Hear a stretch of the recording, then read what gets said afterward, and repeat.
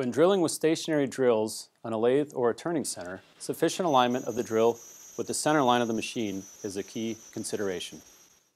This episode will look at ways of ensuring correct alignment of the drill in a non-rotating type application. Faulty alignment is the most common cause of poor tool performance and bad results in applications where the drill does not rotate. So what can we do to make sure the drill is aligned with the axis of the machine in order to secure the desired hole size, hole quality, and the reliability of the whole process? Aligning the center axis of a non-rotating drill to the rotating axis of the machine is crucial to avoid producing oversized or undersized conical holes or holes with bell mouth. The type of drill used influences the maximum alignment between the center line of the machine and the drill. Solid carbide and exchangeable tip drills should be within 20 microns of center. To achieve a closer alignment, make sure all assembly parts are clean and not damaged. Additional solutions to minimize the alignment are changing the offset in the control system or realigning the machine.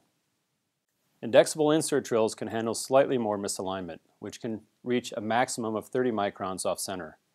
Problems with rubbing on the drill body and insert breakage may occur. Solutions to improve alignment are similar to those for symmetrical drills. Additionally, to achieve a more secure drilling process for indexable insert drills, the drill body or holder can be rotated 90, 180, or 270 degrees. Last but not least, the drill should stay straight to avoid heavy wear on the drill body and to improve hole quality. Therefore, if you machine with a lathe, deflection and its effects should be minimized by mounting the drill closer to the center of the turret. Another alternative is reducing the feed per revolution, thus the feed force. So don't forget, the more accurate the alignment, the better the results. Measurements can be carried out with the help of a dial indicator together with a control gauge. In summary, it's crucial to select the best way to mount the drill in a lathe.